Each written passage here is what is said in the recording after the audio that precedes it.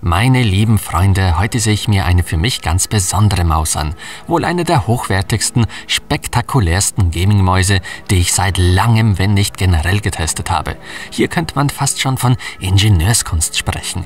Aber spektakulär muss nicht immer gleich gut heißen. Es geht heute um die sogenannte Mad Cats RAT oder RAT 6 Plus. Auf diese Marke hat mich schon öfters eine meiner treuen Zuschauer aufmerksam gemacht. Mir war sie zwar schon seit keine Ahnung wie vielen Jahren bekannt, doch ich habe der Marke irgendwie nie Aufmerksamkeit geschenkt. Das ändert sich heute. Bei der RAT 6 Plus handelt es sich zwar nicht um das Spitzenmodell, dennoch ist schon von einer relativ teuren Maus die Rede, je nachdem, wie man sehen will. Zum Zeitpunkt des Videos gibt man dafür 65 Euro aus. Vielleicht aber ist der Preis heute mal mehr als gerechtfertigt. Wer weiß? Denn die Verarbeitungsqualität und Features sind hier im Gegensatz zu Mäusen der üblichen Konkurrenz auf einem ganz anderen Niveau, was allerdings nicht heißen muss, dass die Maus für jedermann geeignet ist. Wo liegen die Stärken und Schwächen der Red 6 Plus? Glückwunsch schon mal für die seit langem schlechteste Verpackung. Das Auspacken hat alles andere als Spaß gemacht, wenn man alles intakt lassen will. Aber gut, nun zum Produkt. Zu Beginn will ich euch gleich mal über die Farboptionen informieren. Derzeit scheint es eine komplett schwarze sowie eine zum größten Teil weiße Edition zu geben. Letzteres sehe ich mir heute an. Gleich beim Auspacken ist mir schon die verdammt gute Verarbeitungsqualität aufgefallen. Die Oberfläche an sich ist zwar Kunststoff, dafür aber die richtig harte, wertige Art. Aufgesetzt ist die Maus unten auf einem Metallgestell, könnte man quasi sagen. Definitiv keine 0815 Gaming Maus, die wir so kennen. Auffallend sind zudem gleich die vielen Tasten, Anzeigen sowie das Daumenrad links. Angefangen am Arsch, Entschuldigung, Hinterteil der Maus, dürften wir drehen und die drei bereits ab Werk angebrachten 6 Gramm Gewichter entfernen bzw. das Gewicht so gestalten, wie es uns am besten passt. Also ja, das ist endlich mal wieder eine Maus mit Gewichtanpassungssystem. Für meine wohl verhältnismäßig kleineren Hände passt der Grip out of the box eigentlich schon sehr gut. Ich denke, hier käme man mit den verschiedensten Griparten klar. Wer allerdings die Maus verlängern will, darf die Handballenauflage gerne noch stufenweise verschieben und fixieren. Vielleicht wäre das auch was für mich, wenn der Maus dadurch bloß nicht so ein Buckel verpasst werden würde. Mir ist also die kürzere Einstellung am liebsten. Ganz abnehmen lässt sich die Handballenauflage übrigens auch. Gummigrips oder eine Kunststofftextur gibt es weder links noch rechts, wie man sie auf manchen Konkurrenzmodellen sieht. Doch diese fehlen hier meiner Meinung nach auch gar nicht. Dank der Form hat man bereits ohne einen guten Halt.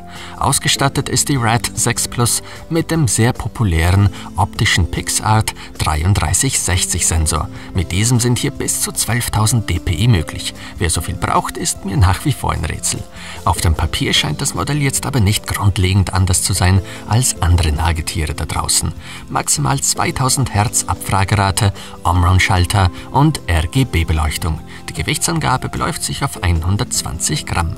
Elf programmierbare Tasten stehen uns übrigens zur Verfügung, was schon mal eine klare Ansage für viele Gamer, aber auch Multimedia-Enthusiasten ist. Mehr dazu gleich. In der Standardkonfiguration fungiert die seitliche runde Taste als sogenannte Präzisionszieltaste. Wenn man sie gedrückt hält, wird der DPI-Wert erstmal beispielsweise herabgesetzt, womit man dann schön präzise snipen könnte. Eine nützliche Implementierung, finde ich, ist das Daumenrädchen.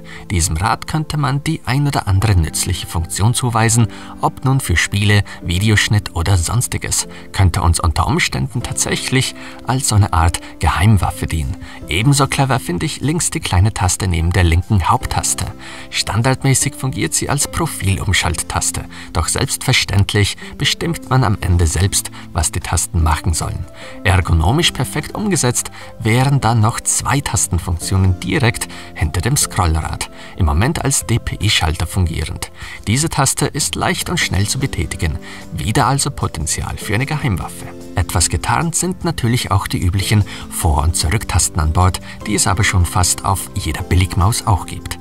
Links gibt es eine LED-Anzeige der aktiven DPI-Stufe. Insgesamt stehen uns vier anpassbare Stufen pro Profil bereit. Profile gibt es wiederum vier für uns. Auf der Unterseite der RAD 6 Plus gibt es sechs kleinere bis mittlere Teflonfüßchen, womit, wie nicht anders zu erwarten ist, geschmeidiges Gleiten ermöglicht wird. Das Klickgefühl der linken und rechten Haupttaste ist überdurchschnittlich gut. Auch das Scrollrad überzeugt beim Scrollen und Klicken. Anhören tut sich das folgendermaßen.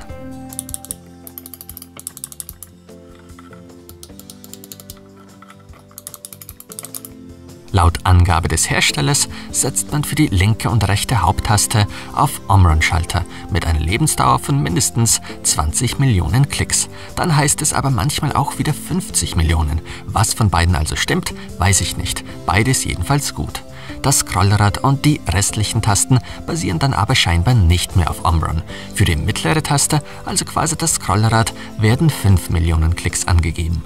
Die Resttasten dann nur noch eine Million.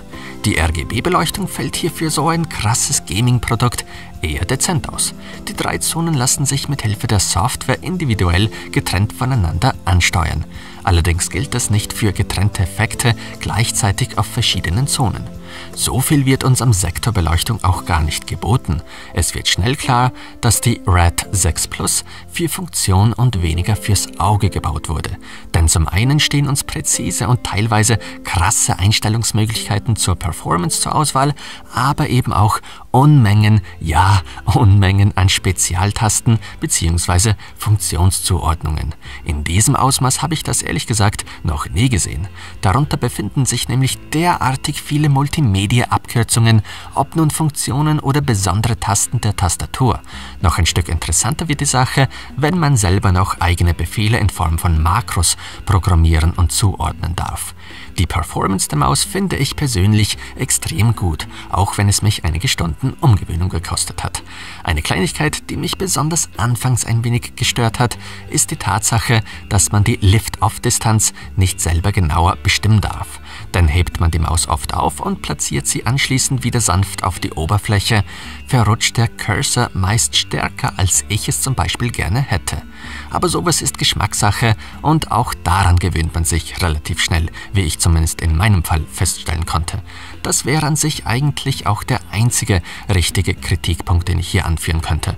Und selbst dieser ist schon meckern auf hohem Niveau. Umso länger ich mit der Maus arbeite, desto mehr kann ich mich mit ihr anfreunden.